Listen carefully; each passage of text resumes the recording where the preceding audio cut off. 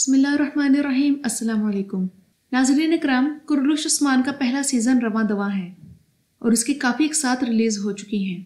مگر کرلوش عثمان میں کچھ باتیں ایسی ہیں جو ناظرین ہضم نہیں کر پا رہے اور ان کا حالات اور واقعات سے کسی قسم کا کوئی تعلق نہیں بن پا رہا۔ ان میں سے پہلی بات ارطر الغازی کا اپنے چھوٹے بھائی دندار بے یعنی زلجان کو قائم مقام سردار مقرر کرنا۔ جو لوگ درلش ارطرال کے پہلے تمام سیزنز دیکھ چکے ہیں وہ اس بات سے بخوبی واقف ہوں گے کہ زلجان کی شخصیت کمزور ہے اور وہ ان صلاحیتوں کا حامل شخص نہیں ہے جو کہ کسی سردار کے لیے، کسی قبیلے پر حکومت کرنے کے لیے ضروری ہوتی ہیں۔ ایرتر الغازی کا بھائی دندار بے درلش ایرترال کے تیسرے سیزن میں شادی کے لیے ایک ایسی لڑکی کو پسند کرتا ہے جو کہ قبیلے کی غدار ہوتی ہے اور دندار سے خفیہ معلومات لے کر وہ روشان کو شہید کرواتی ہے۔ اور اس لڑکی کی اس فطرت کو حلیمہ خاتون اور ایرتر البے اچھی طرح سمجھ گئے تھے۔ مگر زلجان نہیں سمجھ پایا۔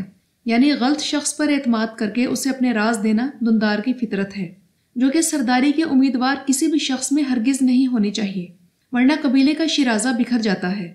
میں تاریخی حوالے کی بحث میں نہیں پڑتی، جس کے مطابق زلجان کبھی بھی قبیلے کا قائم مقام سردار نامزد نہیں کیا گیا، بلکہ تاریخ کے مطابق ارتر الغازی، غازی عثمان کو قبیلے کی سربراہی سونپ کر خود اپنے آخری سال اس کی تربیت میں گزارے۔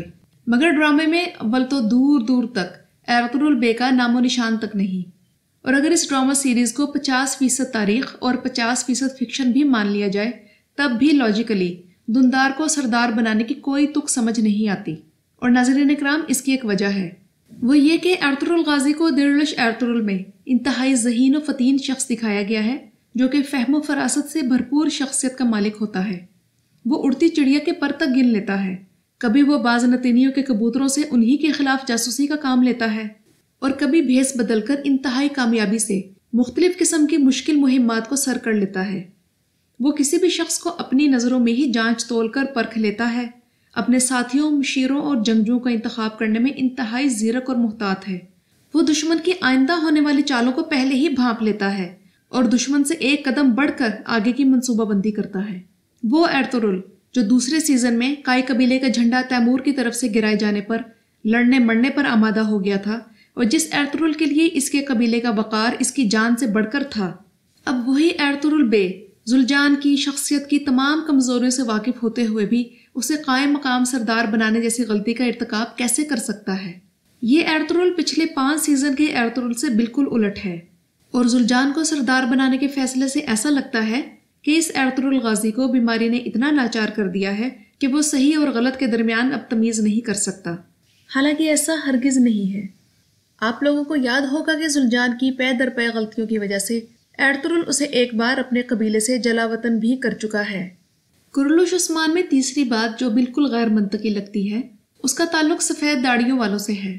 آپ نے بارہویں قسط میں دیکھا ہے کہ سفید داڑھی والے عثمان غازی سے پہلی ملاقات کرتے ہیں۔ اور انہیں ان کے والد ارتر الغازی کا خنجر ثبوت کے طور پر پیش کرتے ہیں۔ اور وہ عثمان کو یقین دہانی کروانے میں کامیاب ہو جاتے ہیں کہ ارتر الغازی سے ان کا پرانا تعلق ہے۔ تو دندار کو سردار بنانے کی غلطی کے وقت سفید داڑھی والے کہاں تھے؟ اور انہوں نے یہ کیسے ہونے دیا؟ اور اب دندار کو سرداری ملنے کے بعد قبیلے کے حالات سفید داڑھی والوں سے کیسے پوشیدہ ہیں؟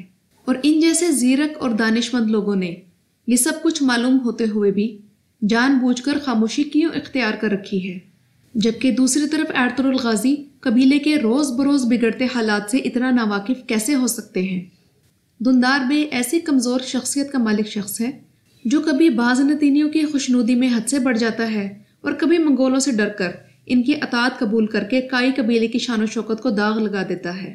اور ایرتر البے کونیا میں رہ کر اپنے قبیلے کے حالات اور ان پر آنے والی آفتوں سے اتنے کیوں بے خبر ہیں کہ انہوں نے ابھی تک دندار کو سرداری پر قائم رکھا ہوا ہے؟ جو کہ سرداری کے تمام اصولوں سے ناواقف ہے اور ایک بزدل اور ڈرپوک شخص ہے، جو صرف تقریریں ہی کر سکتا ہے، مگر عملی میدان میں کچھ بھی نہیں۔